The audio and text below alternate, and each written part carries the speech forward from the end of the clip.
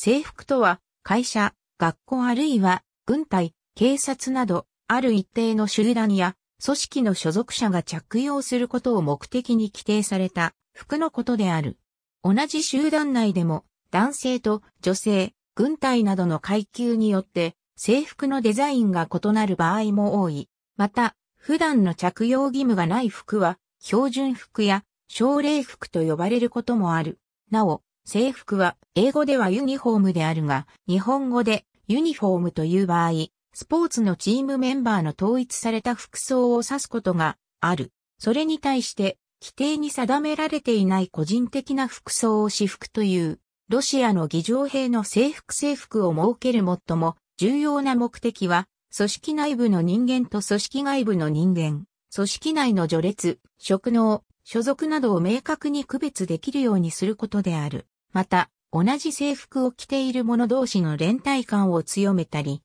自尊心や規律あるいは忠誠心を高めたりする効果が期待される場合もある。格好良い制服や可愛い制服は憧れを抱かせ、その制服を着たい、すなわち、その職種に就きたい、その組織に入りたいという願望を持たせ、人材確保に一役買うこともある。また、戦時体制や独裁国家などにおいては、物資の節約や意識の共有などを目的とした服装の統制が行われることがある。大日本帝国で太平洋戦争中に用いられた国民服、中国や北朝鮮の人民服などがその例である。制服にはその職務にあった機能性が求められる。特定の作業用に機能性を重視して規定された服は作業服と呼ばれ、制服と区別されることもある。企業によっては、作業服を業務において常に着用する服装であるとし、作業服を制服と位置づけることもある。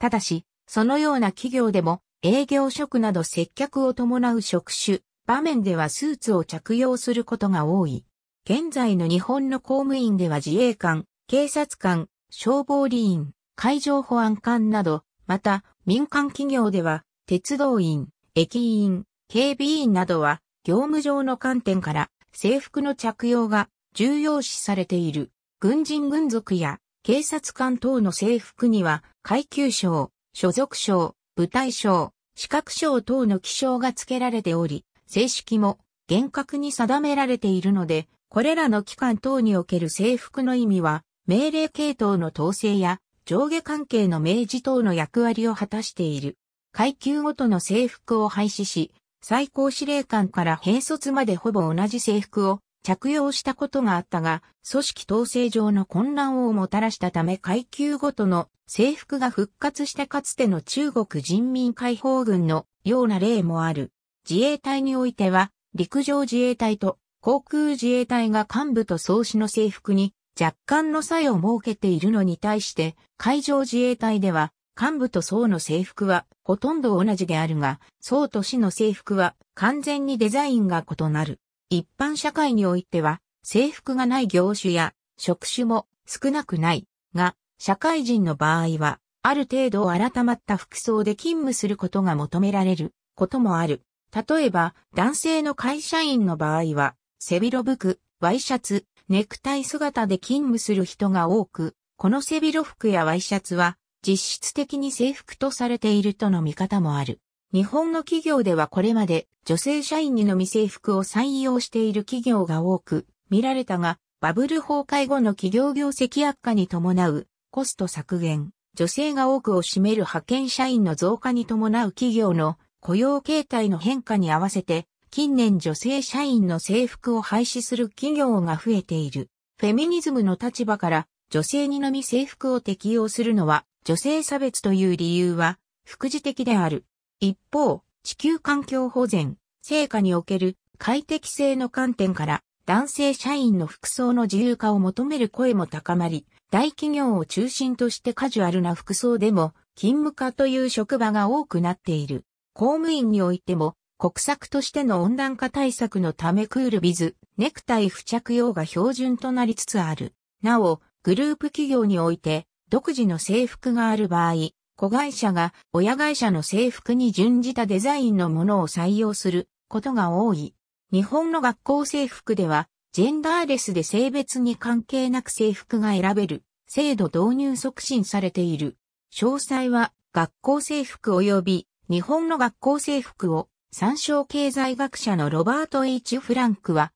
制服着用の義務化は生徒たちが自分自身を表現する能力を制限することになるが、着る服を競い合うという金銭的、感情的な負担を減らすことができると指摘している。地元チームの優勝に伴い、通常の制服でなく一時的に、プロ野球の帽子とユニフォームを着用する、冷制服が、職業、職務を表すという機能を悪用し、警察官などを装った犯罪は後を絶たない。このため、2002年には、階級章一体で、個人コードが刻まれた名札、識別証が導入された。制服以外の身分証明を求めたり、電話で確認したりすることで防げることもあるが、通常はそこまで確認は困難である。宅配便業者では、訪問先、地域ごとに、専従の担当者を置く、対策法を取るところもある。消防理員、消防団員を装った、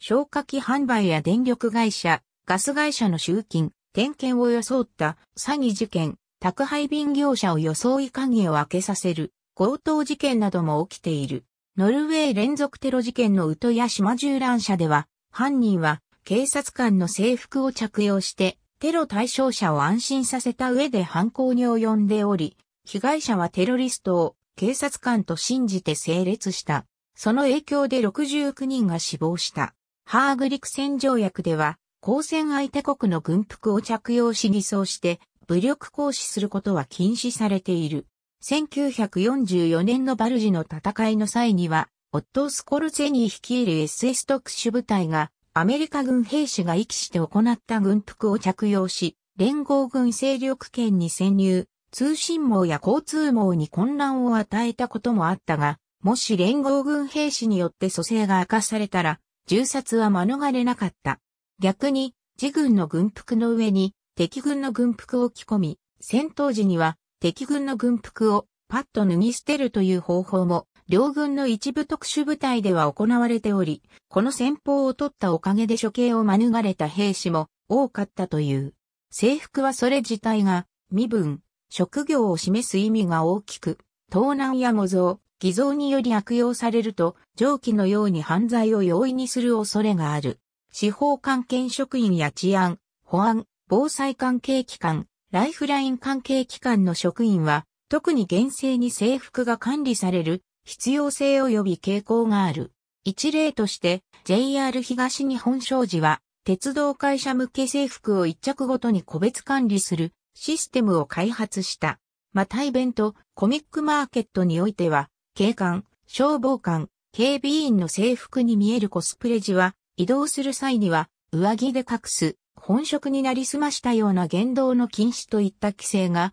課されている。また、制服を着用するだけで無条件に信頼するのではなく、身分証明書自体も制服の装備品の一つとして考えられ、当然通常は着用しなくてはならない。警備会社は社員である警備員に制服を貸与しているが、制服を紛失した場合は速やかに管轄の警察署に届け出ることになっている。これは制服を悪用されないためであり、制服の着用による社会的立場を悪用した犯罪を防止する観点から必要な措置なのである。犯罪に悪用されないまでも制服自体に興味を持つ愛好家も多数おり、盗難などにより紛失する可能性は極めて高い。制服を管理する上で留意することは、選択し制服を干す場合は外に干さないことや、制服を運搬する場合には、中身を秘匿するなどが考えられる。警察博物館では、